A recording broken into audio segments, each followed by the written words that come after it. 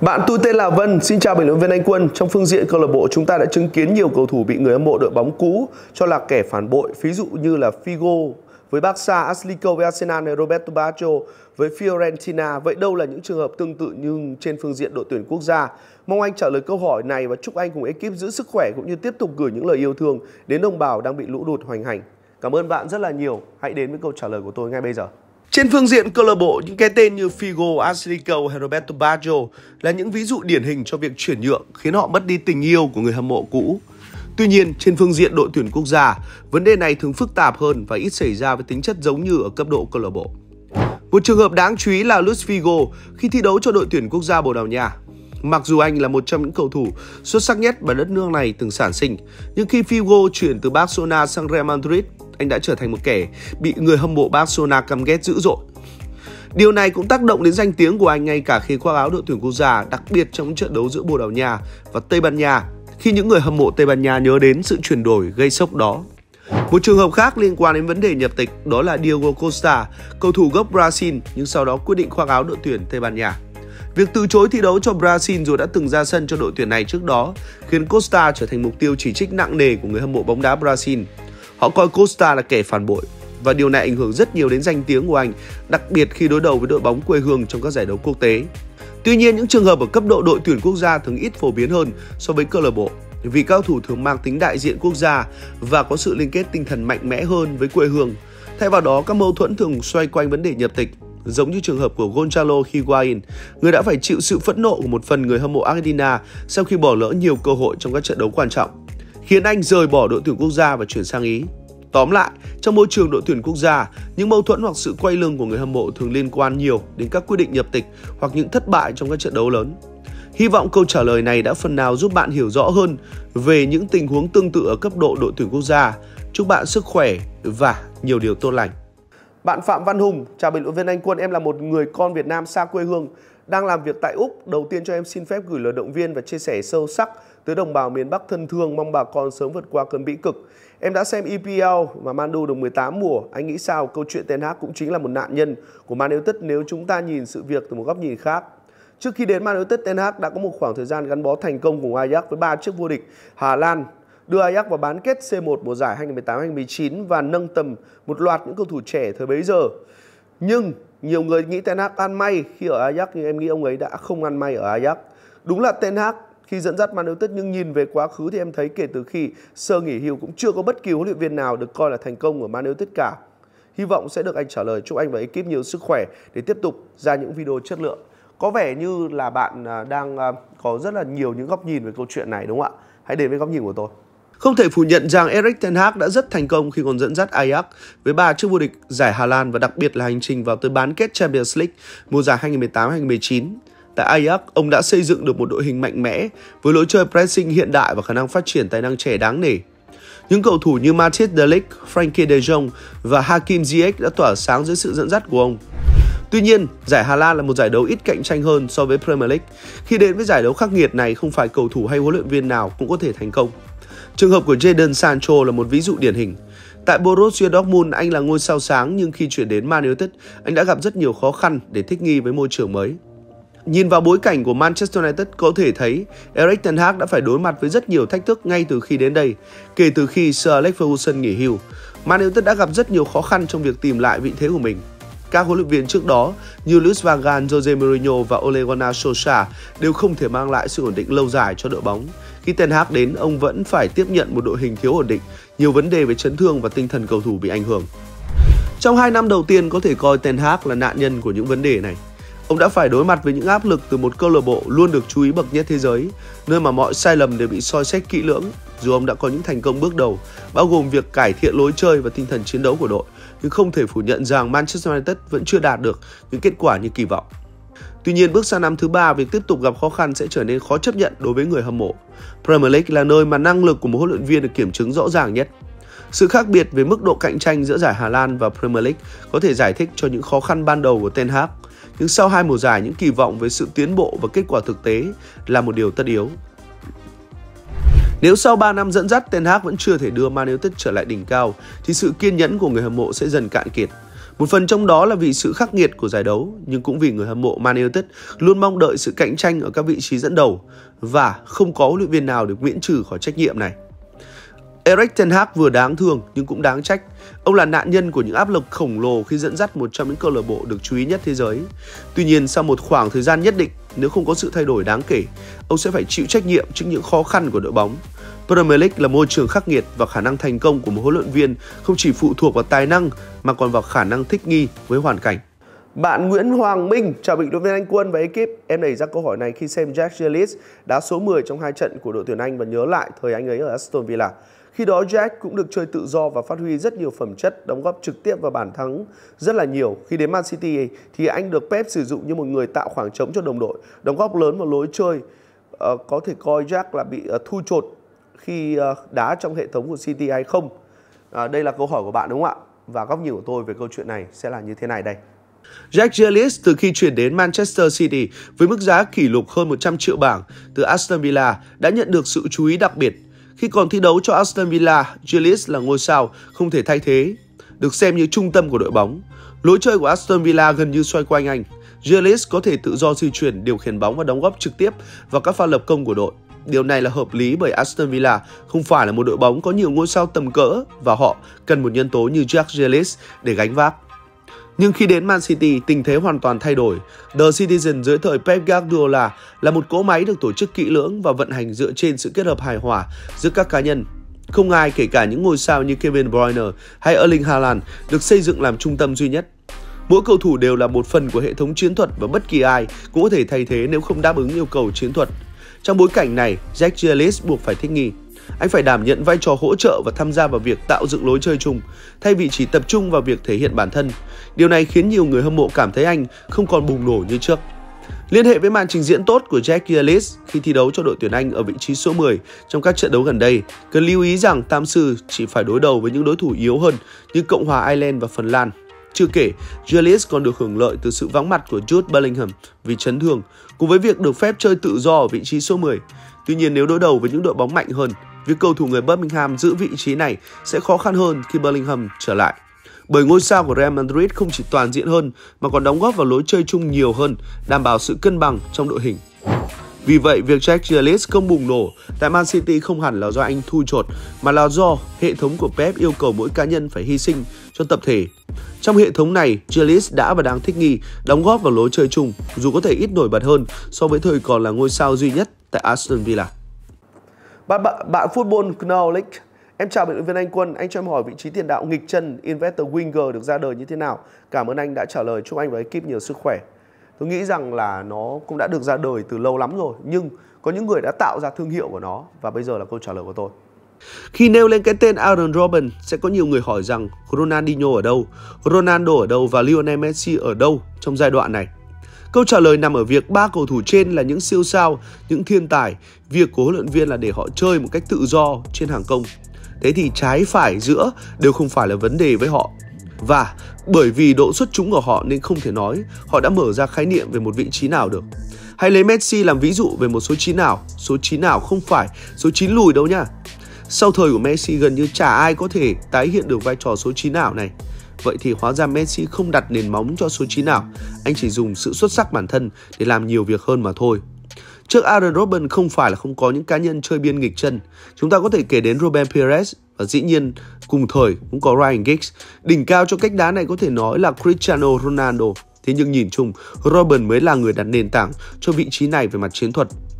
Sự sáng tạo này cũng mang tính khá là ngẫu nhiên khi Mourinho lúc ở Chelsea có đến hai chân chạy cánh đều thuận chân trái là Damien Duff và Robin, Dĩ nhiên là một người sẽ phải chơi cánh còn lại.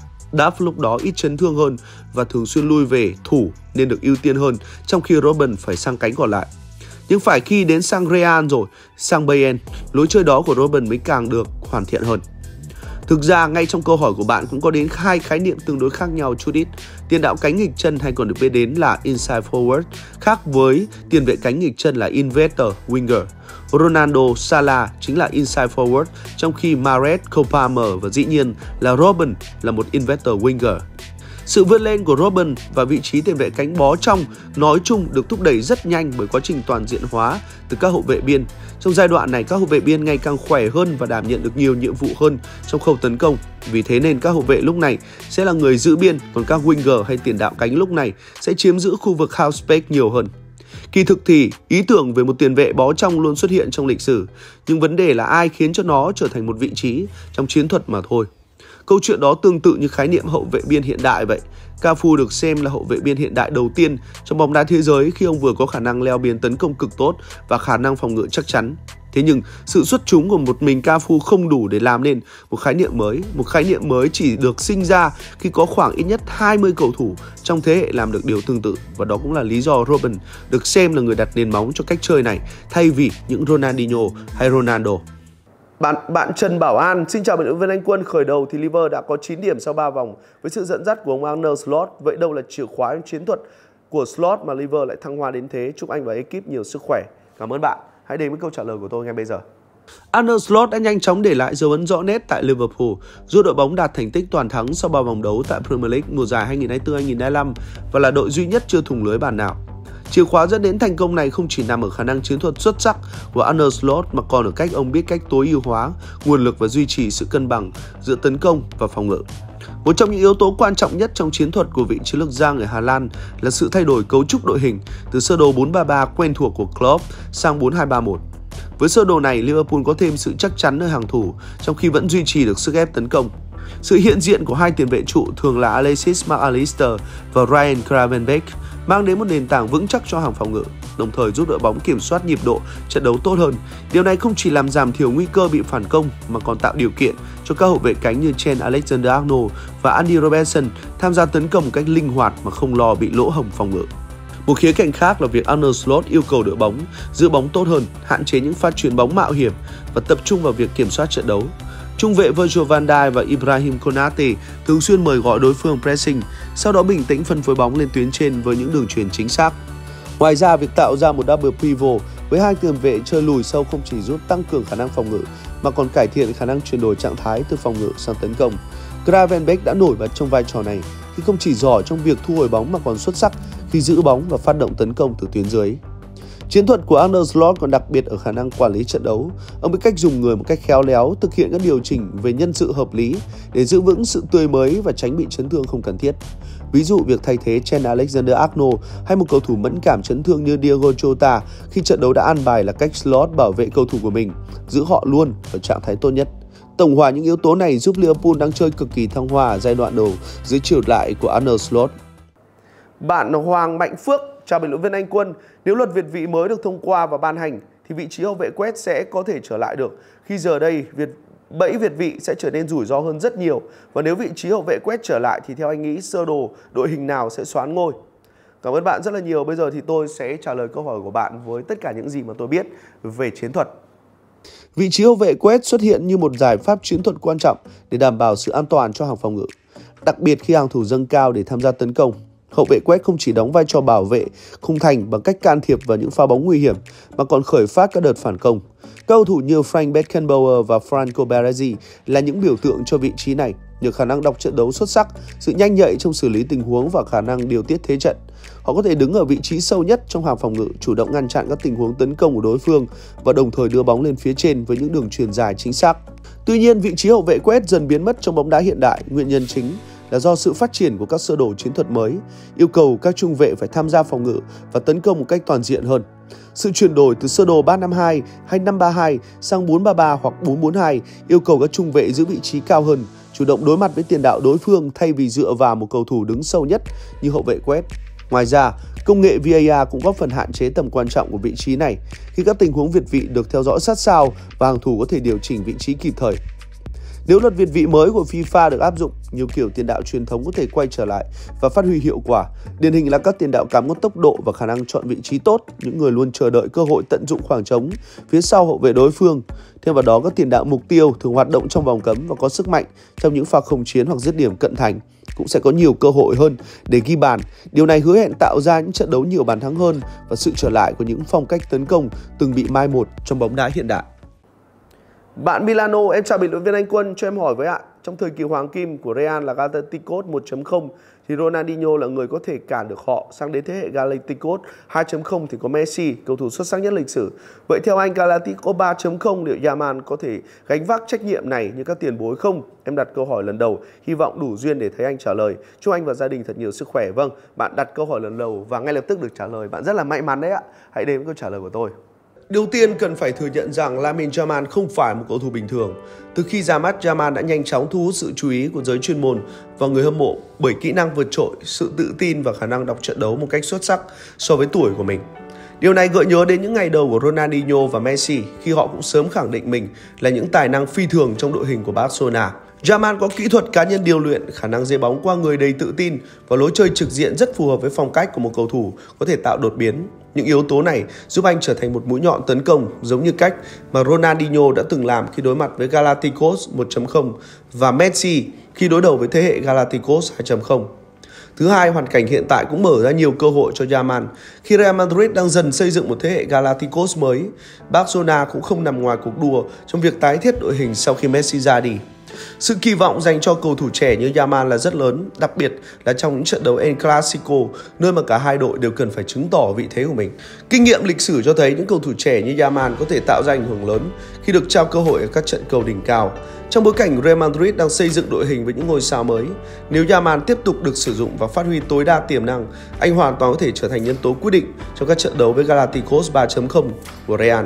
Nếu nhìn lại, Ronaldinho không chỉ đánh bại Galacticos 1.0 bằng kỹ thuật và sự sáng tạo mà còn bằng tinh thần tự tin và sự đam mê trong từng pha bóng.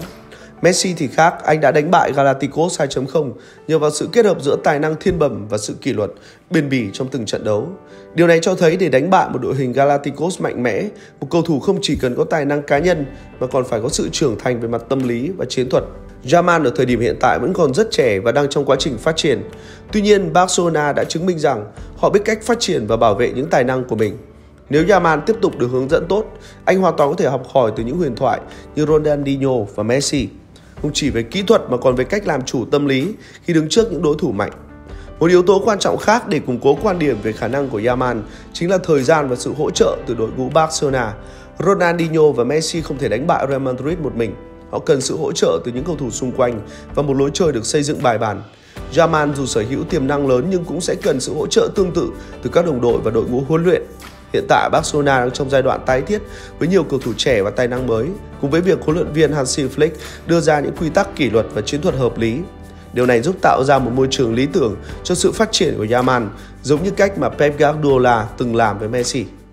Bạn Satoshi chào bình luận viên Anh Quân là một fan của Dybala. Em thấy rất buồn khi thấy idol của mình hai trận gần đây trên đội tuyển Argentina đều chỉ được vào sân ở khoảng 15 phút cuối trận. Cho dù đã ghi bàn ở trận đấu gặp đội tuyển Chile và mặc áo số 10 nhưng em vẫn cảm thấy Dybala không nhận được sự tin tưởng tuyệt đối từ huấn luyện viên Scaloni. Trận đấu gặp Colombia vừa rồi, cặp tiền đạo Alvarez và Martinez đã chơi phải nói là tệ và ít sự kết nối trong suốt cả trận. Nhưng mãi những phút cuối Dybala mới được vào sân và như thế là quá ít để La Jora có thể có cơ hội thể hiện bản thân. Vậy anh Quân cho em hỏi tại sao Dybala lại luôn bị thất sủng ở đội tuyển quốc gia cho dù Messi không lên tuyển? Em cảm ơn, chúc anh thật nhiều sức khỏe. Bạn buồn, tôi cũng buồn bởi vì tôi cũng rất thích Dybala. Hãy đến với câu trả lời. Paulo Dybala dù được xem là một trong những tài năng sáng giá ở bóng đá Argentina, đã không có được sự tin tưởng tuyệt đối từ huấn luyện viên Lionel Scaloni cũng như bị xem là thất sủng tại đội tuyển Argentina. Điều này càng trở nên rõ nét hơn khi Dybala chỉ được tung vào sân 18 phút trong hai trận vừa qua tại đội tuyển dù Lionel Messi không có mặt trong đội hình. Điều này có thể được giải thích bởi lối chơi của Paulo Dybala vốn mang đậm tính cảm hứng. Dybala là một cầu thủ cần nhiều bóng để có thể phát huy tối đa khả năng sáng tạo. Nhưng đó cũng là điểm yếu của anh khi phải chơi trong một hệ thống không xoay quanh mình.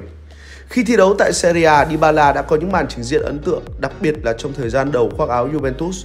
Tuy nhiên, cần nhớ rằng thời kỳ bùng nổ nhất của La Roya tại Juve đến khi anh sát cánh của người đàn anh Gonzalo Higuain.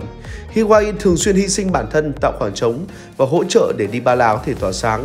Điều này giúp Dybala đạt được phong độ đỉnh cao. Nhưng kể từ khi Cristiano Ronaldo gia nhập Juventus và Higuain rời đi, Dybala dần mất đi sự ảnh hưởng của mình.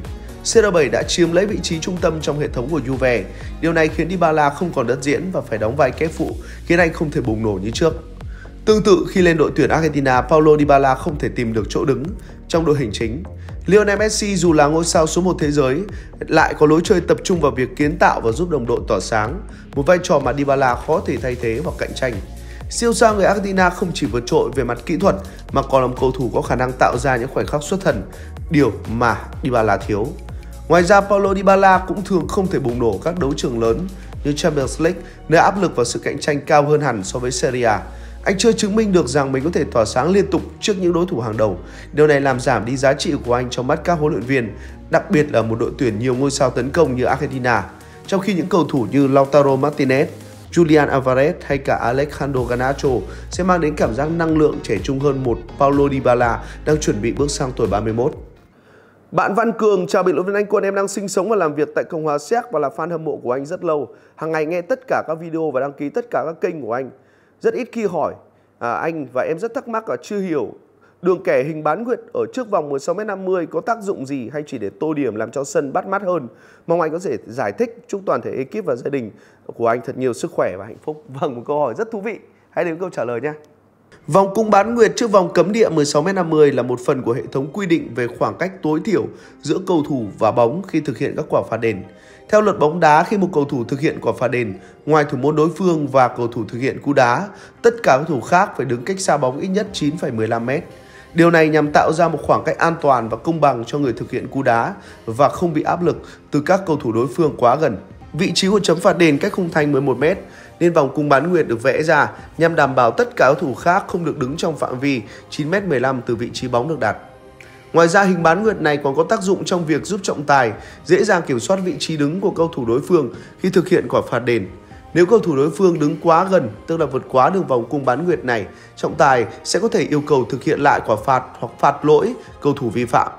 Hơn nữa, hình bán nguyệt này không phải chỉ có tác dụng trong những tình huống phạt đền mà còn có vai trò trong việc duy trì trật tự trên sân trong những tình huống cố định khác. Ví dụ như quả phạt gián tiếp gần khu vực vòng cấm địa. Điều này giúp trận đấu trở nên mạch lạc và có tính công bằng hơn.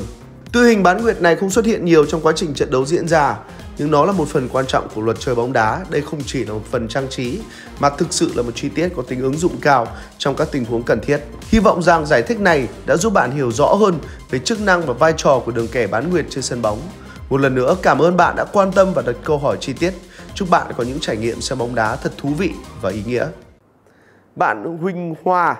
Em chào bình luận viên Anh Quân, em là một khán giả của anh đang sinh sống và làm việc tại nước ngoài. Lần đầu tiên em đặt câu hỏi rất mong anh đưa ra góc nhìn của mình về đội bóng em yêu thích. Em là một fan cứng của Arsenal. Em rất trân trọng những đóng góp và thành tích mà huấn luyện viên Ateta đã làm được nhưng em cứ có cảm giác tầm của ông ấy chỉ đến được top 4 thôi. Ông ấy luôn thua trong các khoảnh khắc quyết định và chưa làm tốt công tác tâm lý chiến, cũng như luôn để cầu thủ đánh mất lợi thế từ những tình huống trời ơi đất hỡi. Hay đây chỉ là sự non trẻ của một huấn luyện viên cần thêm kinh nghiệm? Rất mong anh trả lời câu hỏi của em. Chúc anh và gia đình thật nhiều sức khỏe, My Idol. Cảm ơn bạn rất là nhiều. Hãy đến với câu trả lời của tôi. Ngày hôm nay có rất nhiều người nước ngoài đã đặt câu hỏi ạ. Mikel Arteta kể từ khi lên nắm quyền đã đem đến nhiều sự thay đổi tích cực cho Arsenal, bao gồm việc đưa đội bóng trở lại top 4 và thi đấu ở UEFA Champions League. Tuy nhiên, như bạn đề cập, một số quyết định của Arteta trong những thời khắc quan trọng có thể khiến bạn cảm thấy đội bóng thiếu sự sắc bén, đặc biệt trong các trận đấu lớn hoặc những khoảnh khắc quyết định.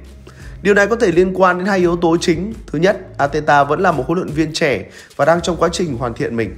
Mặc dù ông ấy đã học hỏi từ những huấn luyện viên hàng đầu như Pep Guardiola Việc tự mình điều hành một đội bóng lớn như Arsenal yêu cầu sự tinh tế và kinh nghiệm trong việc quản lý các tình huống khó khăn.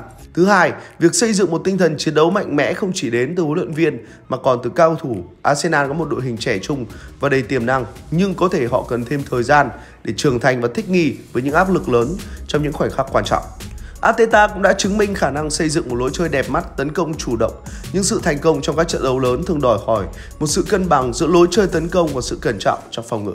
Có thể ông ấy cần điều chỉnh chiến thuật linh hoạt hơn trong trận đấu căng thẳng, nhất là khi đối mặt với các đội bóng lớn. Tóm lại, Ateta là một huấn luyện viên đầy triển vọng với nhiều điểm mạnh. Nhưng như bạn nhận xét, ông ấy vẫn cần thời gian để hoàn thiện mình và giúp Arsenal trở thành một đội bóng không chỉ đẹp mắt mà còn hiệu quả trong các khoảnh khắc quyết định. Bạn Minh Nguyễn chào anh Quân, em vừa thấy video Welcome Back Gavi trên kênh YouTube của Barca. Gavi là một cầu thủ trẻ, em rất quan tâm anh nghĩ sao về sự trở lại của Gavi với Barca hiện tại đang chơi tốt thì Gavi còn được giữ vai trò quan trọng hay không? Và Gavi sẽ có thể chơi vị trí và vai trò như thế nào? Em cảm ơn, chúc anh và ekip thật nhiều sức khỏe. Đây cũng mới là lần đầu em đặt câu hỏi, mong được anh trả lời. Cảm ơn bạn rất là nhiều. Hãy đến với câu trả lời ngay bây giờ. Sự trở lại của Gavi đang trở thành một trong những điểm nhấn quan trọng nhất đối với Barcelona mùa này kể từ khi anh bị chấn thương đứt dây chẳng chéo vào tháng 11 năm ngoái. Đội bóng đã thiếu vắng một trong những tài năng sáng giá và đầy triển vọng của họ. Gavi đã chứng minh tầm ảnh hưởng của mình không chỉ trong cách anh chơi bóng mà còn trong tinh thần và khả năng chiến đấu ở trên sân. Với việc Gavi dự kiến sẽ trở lại tập luyện cùng đội vào thứ năm tuần này, cả huấn luyện viên Hansi Flick và đội bóng đều rất vui mừng và kỳ vọng vào sự trở lại của anh. Huấn luyện viên Hansi Flick chia sẻ sự phấn khởi của mình khi thấy Gavi sắp trở lại sau một quá trình hồi phục dài. Ông nhấn mạnh rằng sự hiện diện của Gavi không chỉ quan trọng về mặt chiến thuật mà còn có tác động lớn đến tinh thần của toàn đội. Gavi là một cầu thủ quan trọng và chúng tôi đã nhớ cậu ấy rất nhiều. Thấy cậu ấy trở lại sân tập là một tín hiệu tích cực không chỉ cho cá nhân của Gavi mà còn cho cả đội bóng, Flick cho biết. Dù vậy, ông cũng nhấn mạnh rằng quá trình hồi phục của Gavi cần được thực hiện một cách thận trọng, không vội vàng để tránh tái phát chấn thương. Câu lạc bộ hiểu rằng để Gavi trở lại phong độ cao nhất, họ cần đảm bảo anh có thời gian phục hồi đầy đủ và không gặp rủi ro nào. Quyết định này cho thấy Barca không chỉ xem trọng Gavi trong hiện tại mà còn coi anh là một phần quan trọng trong chiến lược dài hạn của họ. Đội ngũ y tế cũng đang làm việc sát sao với Gavi để đảm bảo rằng anh sẽ trở lại sân cỏ với thể trạng tốt nhất, tránh những chấn thương không đáng có. Sự hồi phục của Gavi không chỉ mang lại lợi ích cho cá nhân anh mà còn giúp tăng cường sức mạnh cho đội bóng. Với những kỹ năng nổi bật như khả năng pressing, đọc trận đấu và tính chiến đấu cao, Gavi sẽ giúp Barcelona kiểm soát tuyến giữa tốt hơn. Đặc biệt, anh có khả năng hỗ trợ cả phòng ngự lẫn tấn công, một phẩm chất rất cần thiết trong lối chơi của huấn luyện viên Hansi Flick. Điều này cũng giúp đội bóng có thêm chiều sâu trong đội hình, đặc biệt trong bối cảnh nhiều cầu thủ khác như Ronald Araujo và Frankie de Jong không gặp chấn thương. Bạn yêu giờ em chào anh Quân. Theo anh, với việc hai ông chủ Chelsea lục đục ảnh hưởng xấu như thế nào tới câu lạc bộ này và theo anh, hai ông chủ Chelsea có phải là ông chủ tốt không? Em cảm ơn. Theo tôi, họ là những ông chủ tốt đấy chứ. Chẳng qua là họ không có cùng quan điểm bóng đá với nhau mà thôi. Cuộc chiến quyền lực giữa Todd Bowley và Clearlake Capital tại Chelsea đang dần trở thành mối đe dọa lớn đối với tương lai đội bóng khi sự thiếu nhất quán trong định hướng phát triển có thể gây ra những hậu quả nghiêm trọng. Chelsea đã trải qua một giai đoạn thay đổi lớn sau khi giới chủ từ Mỹ mua lại câu lạc bộ từ Roman Abramovich với tham vọng khôi phục vị thế của đội bóng hàng đầu nước Anh. Tuy nhiên, sự bất đồng giữa hai bên về cách quản lý và phát triển đội bóng đã tạo ra một cuộc tranh giành quyền lực đe dọa đến sự ổn định và thành công lâu dài của The Blue. Nhìn lại câu chuyện tại Arsenal, có thể thấy rằng cuộc đối đầu giữa hai tỷ phú Stan Kroenke và Alexei Usmanov đã khiến pháo thủ lâm vào tình trạng đình trệ trong suốt hơn một thập kỷ. Trong suốt giai đoạn này, Arsenal không nhận được sự đầu tư cần thiết và thiếu sự thống nhất trong tầm nhìn phát triển. Kết quả là mặc dù giành được một số danh hiệu FA Cup, câu lạc bộ vẫn bị đánh giá là không tiến bộ và không có khả năng cạnh tranh các giải đấu. Chỉ khi Kroenke nắm giữ 100% quyền kiểm soát vào năm 2018, Arsenal mới thực sự bước vào một giai đoạn mới với sự đầu tư đúng đắn và có chiến lược dài hạn. Việc thống nhất quyền lực đã cho phép Kroenke đầu tư mạnh mẽ hơn, giúp Arsenal thoát khỏi tình trạng ngủ quên và dần lấy lại vị thế của mình. Sự chia rẽ hiện tại Chelsea tương tự như Arsenal trước đây có thể sẽ trở thành sự chia rẽ hiện tại ở Chelsea tương tự như Arsenal trước đây có thể cản trở quá trình phát triển của đội bóng. Topoli và Clelec Capital đều là những người sở hữu tiềm lực tài chính và tâm huyết với The Blue. Tuy nhiên nếu hai bên tiếp tục không đồng thuận về hướng đi của câu lạc bộ, đội chủ sân Stamford Bridge có nguy cơ bị lạc lối trong những mâu thuẫn nội bộ. Điều cần thiết nhất cho Chelsea hiện tại là cuộc tranh giành quyền lực giữa Top Bowley và Clearlake Capital phải sớm chấm dứt bất kể bên nào giành chiến thắng. Chỉ khi có một người lãnh đạo duy nhất và một tầm nhìn phát triển chung, đội bóng mới có thể nhận được sự đầu tư cần thiết và sự ổn định. Cả Todd Bowley và Clearlake Capital đều là những người chủ tốt và điều quan trọng là cả hai đều muốn Chelsea thành công. Chỉ là họ không cùng chung chí hướng về cách thức phát triển câu lạc bộ. Bạn Lý Tiểu Long, em chào anh Quân cho em hỏi sau cuộc tranh cãi giữa huấn luyện viên Koeman và bập vai thiếu anh thì các cầu thủ còn trẻ mà chọn đến Ả Rập chơi bóng liệu trình độ của họ đi xuống không cũng như suất gọi lên tuyển có gần như đóng lại với họ không? Theo tôi là không bởi vì Euro vừa rồi chúng ta đã thấy rất nhiều cầu thủ tại Ả Rập Xê Út vẫn đang đá tốt mà đúng không ạ? Về câu hỏi của bạn liên quan đến cuộc tranh cãi giữa huấn luyện viên Ronald Koeman và Steven Bergwijn cùng với việc các cầu thủ trẻ chuyển đến Ả Rập Xê Út thi đấu có một khía cạnh quan trọng cần xem xét. Trước hết, việc cầu thủ trẻ lựa chọn chuyển đến Ả Rập Xê Út để thi đấu là một chủ đề gây tranh cãi trong giới bóng đá. Ả Rập Xê Út hiện đang là điểm đến hấp dẫn với mức lương cao và các điều kiện kinh tế thuận lợi cho cầu thủ, đặc biệt là sau khi một số ngôi sao lớn như Cristiano Ronaldo, Karim Benzema và N'Golo Kante đã chuyển đến đây. Tuy nhiên, nhiều người lo ngại rằng khi cầu thủ chuyển đến những giải đấu ít cạnh tranh hơn, điều này có thể ảnh hưởng đến trình độ và khả năng cạnh tranh của họ, đặc biệt là trong môi trường bóng đá châu Âu. Với huấn luyện viên Ronald Koeman, ông đã bày tỏ rõ quan điểm về việc cao thủ cần thi đấu ở những giải đấu hàng đầu để duy trì phong độ và đạt đủ chuẩn mực để có thể có suất lên tuyển. Koeman là người đề cao việc cầu thủ cần phải chơi trong các giải đấu có tính cạnh tranh cao để đảm bảo họ luôn ở trạng thái tốt nhất. Trong cuộc tranh cãi với Steven Bergwijn, có lẽ ông lo ngại rằng việc chơi ở các giải đấu ít đòi hỏi hơn như ở Ả Rập sẽ khiến cầu thủ không đạt được tiêu chuẩn thể lực và chiến thuật mà đội tuyển quốc gia yêu cầu. Việc lựa chọn đến Ả Rập có thể khiến suất triệu tập vào đội tuyển quốc gia bị ảnh hưởng. Lý do là huấn luyện viên của các đội tuyển thường sẽ ưu tiên những cầu thủ thi đấu các giải đấu có tính cạnh tranh cao hơn để đảm bảo họ được rèn luyện và duy trì phong độ đỉnh cao. Những giải đấu như Premier League, La Liga hay Bundesliga được đánh giá cao hơn về trình độ và áp lực thi đấu. Vì vậy, việc cầu thủ trẻ chuyển đến Ả Rập có thể làm giảm cơ hội được gọi lên đội tuyển, nhất là khi huấn luyện viên có nhiều lựa chọn khác từ những giải đấu hàng đầu. Tuy nhiên cũng không thể phủ nhận rằng một số cầu thủ vẫn có thể giữ vững phong độ tốt mặc dù thi đấu ở những giải đấu ít cạnh tranh hơn. Điều này phụ thuộc vào năng lực cá nhân và cách họ duy trì sự chuyên nghiệp trong quá trình rèn luyện. Tóm lại, việc chọn thi đấu tại Ả Rập Xê Út có thể ảnh hưởng đến trình độ của cầu thủ trẻ và giảm khả năng được triệu tập của đội tuyển quốc gia, đặc biệt là dưới những huấn luyện viên như Ronald Koeman, người rất coi trọng chất lượng và tính cạnh tranh của các giải đấu nơi cầu thủ thi đấu. Bạn Minh, em chào anh Quân, Man United của anh thua nữa thì có sa thải Ten Hag không? Và nếu sa thải thì Man United sẽ chọn huấn luyện viên nào để thế ông 10 khó với anh? Ông này dẫn dắt chán quá. Anh ạ, em là mà là Sơ Rim thì em sa thải luôn trong ngày mai, gửi giấy đuổi ngay trong đêm. Vâng ạ, thực ra là tôi cũng không phải là fan của Man United một lần nữa, đính chính chuyện đó, tôi là fan của Juventus. Phải đến với câu trả lời. Tình hình hiện tại huấn luyện viên Erik ten Hag tại Manchester United đang ở mức báo động sau những thất bại lớn đặc biệt là trận thua 0-3 trước Liverpool. Vị trí của Ten Hag đang bị đặt vào tình thế nguy hiểm. Mặc dù mùa giải chỉ mới bắt đầu nhưng phong độ thiếu ổn định của Man United đã khiến người hâm mộ và ban lãnh đạo mất niềm tin. Với tỷ lệ sa thải hiện lên đến 22%, Ten Hag phải đối mặt với áp lực khổng lồ để cải thiện thành tích của đội bóng trong thời gian tới.